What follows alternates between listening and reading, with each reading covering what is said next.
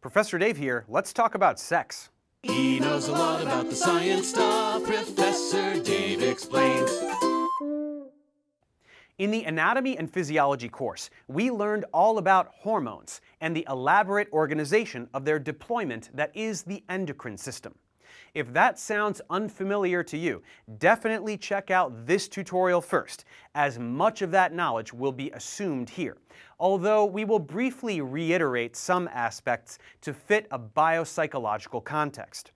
Even with what we know about hormones, it still may seem incredible that the secretion of a few molecules from a handful of glands can be responsible for something as intense as the sex drive. But sexual behavior can be understood scientifically, just like any other type of human behavior. So let's go in for a closer look. As we said, hormones will be the key players in this realm, and these hormones orchestrate a wide variety of things. First, from conception through to adulthood, they guide the development of our primary and secondary sexual characteristics, as well as behavioral characteristics, which together distinguish us as either male or female. And once mature, these same hormones regulate the sex drive and reproductive behavior as well. All of this activity is orchestrated by the neuroendocrine system let's quickly recall some of the glands and associated structures that will be most relevant to this discussion. Those being the pineal, hypothalamus, pituitary, thyroid, parathyroid, thymus, and adrenal glands, all of which secrete hormones.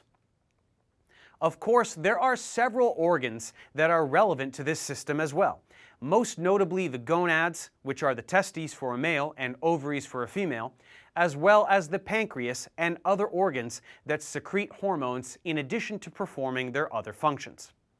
We can also recall that hormones are of several classes, those being amino acid derivatives, peptides and proteins, and steroids. And the last of these categories is the one that all the sex hormones belong to.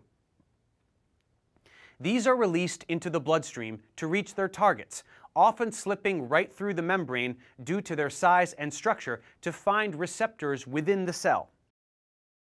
They interact with these receptors to elicit a specific physiological response related to body development or behavior, typically in some manner related to gene expression. As we may recall, the sex hormones can be divided into androgens, like testosterone, and estrogens, like estradiol. It is true that the male gonads release more androgens than estrogens, and the opposite is true for the female gonads, but all men and women have both in their bodies, so it is overly reductive to refer to them as male and female hormones.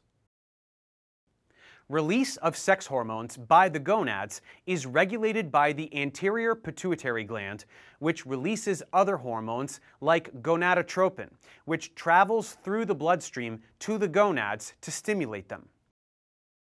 The levels of these hormones are relatively stable for males, whereas in females they fluctuate in a cycle lasting around 28 days, which we call the menstrual cycle.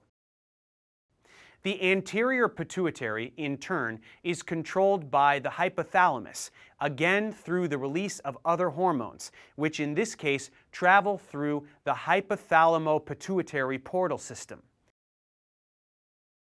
For example, gonadotropin releasing hormone is released from the hypothalamus, which stimulates release of gonadotropin in the anterior pituitary, which then travels to the gonads to stimulate release of sex hormones.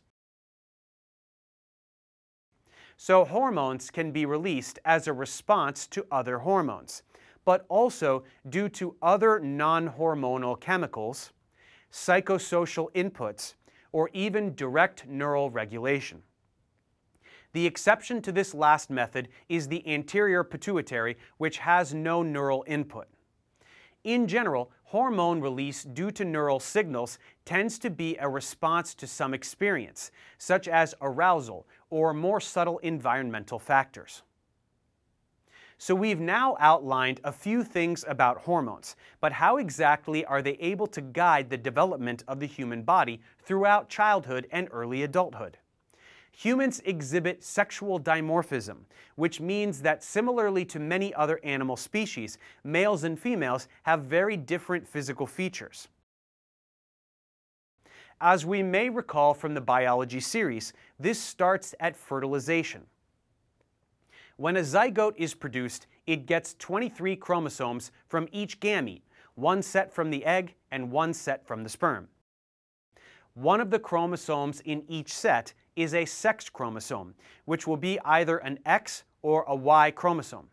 The egg always has an X and the sperm has either an X or a Y. If the resulting zygote has two X's, the fetus will develop into a female. If an X and a Y, the fetus will begin to develop into a female, but at a certain point this process will be overruled due to the chromosomal difference and it will develop into a male. A six-week-old fetus possesses gonads that are essentially identical regardless of the sex, but they will develop into either ovaries or testes depending on the genetic instructions. On the Y chromosome, there is a gene that, when expressed, produced the SRY protein, which influences the development of the gonad such that it will develop into a testis. In the absence of this protein, development results in an ovary. All the features of the external genitalia develop in similar ways, from identical precursors that differentiate due to specific interactions involving the differing products of gene expression, as well as the presence or absence of hormones like testosterone. A similar process occurs again during puberty, when the secondary sexual characteristics develop. Growth hormone, gonadotropic hormone, and adrenocorticotropic hormone cause the gonads and adrenal cortex to release other hormones which initiate the development of these characteristics, as well as the maturation of the genitals. In this way, while testosterone is not an exclusively male hormone, it is responsible for masculinization. And while estrogen is not exclusively female, it is responsible for feminization. Obviously, the differences in the physical characteristics of males and females are very clearly seen, but much more subtle is the sexual differentiation of the brain. Those who place political correctness over scientific fact may not like it, but the male and female brain are quite different in a variety of ways. There are differences in regional sizes, such as with the sexually dimorphic nucleus of the hypothalamus. There are differences in numbers of neural and glial cells, number and types of synapses, and more. Of course, there is plenty of overlap as we are all humans, but it is undeniable that these differences exist, and it seems clear that these differences develop at different times and by different mechanisms. When analyzing sexual behavior, cultural factors must be taken into account. But we are also beginning to understand mechanisms in the brain that inform our sexuality. These tend to be relegated to the cortex, hypothalamus, amygdala, and ventral striatum. The cortex mediates the more complex and abstract aspects of any sexual experience, including the variety of emotions that can be felt during the act. We already mentioned that the hypothalamus is home to structural differences between males and females, given the differing size of the sexually dimorphic nucleus, which influences male and female sexual behavior, and it is also involved in hormone release, as we have already discussed.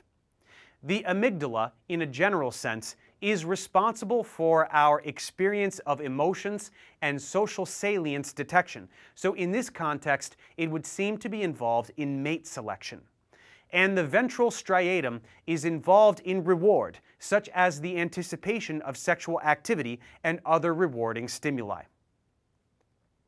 Obviously, there is much more to talk about here, as we haven't discussed sexual orientation and gender identity, but we will have to come back to this a bit later. For now, let's move on to some other topics.